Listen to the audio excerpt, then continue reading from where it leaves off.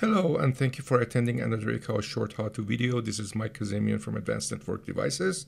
Today we will be demonstrating uh, the auto detection of walls uh, within Ekahau AI Pro.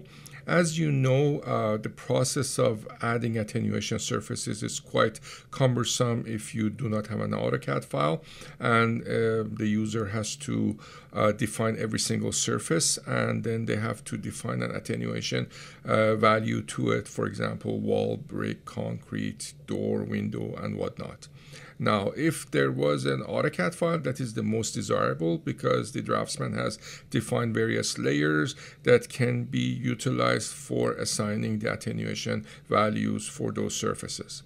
Now, if we do not have access to an AutoCAD file and we would like to still use some of these features, we can use uh, a feature built into Ekahau called the auto detection. It is under actions and then we go to wall detection beta and we can see that the software will process and will try to detect all the attenuation surfaces and it will define a value of zero which this can be then changed to any other attenuation value. For example we can go and select these three walls and we can change the wall type and we can for example go and make it brick wall.